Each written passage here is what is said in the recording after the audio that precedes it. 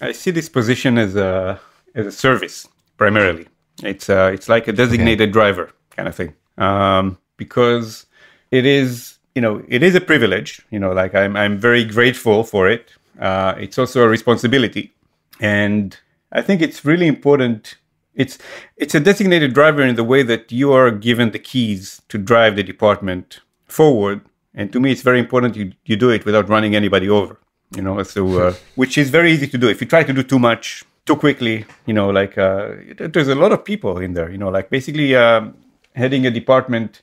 This is the first position that kind of like I guess it's the first place where you have a supervisory type of uh, connection w- with people across different functions, right? You know, faculty and staff, you know, different unions, students, of course. So it's it's really the first place where you actually sort of mix at the university level.